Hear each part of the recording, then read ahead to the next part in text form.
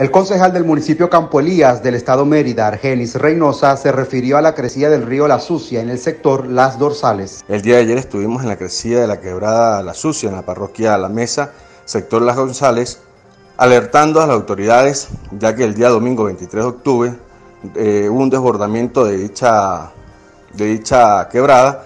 Ofreció un balance de los estragos que ocasionó esta crecida del río en dicho sector. Resultando dos viviendas con pérdidas totales, dos viviendas más en alto riesgo y seis casas afectadas a menor escala. Inclusive, inclusivemente dos locales también fueron afectados, pero a menor escala.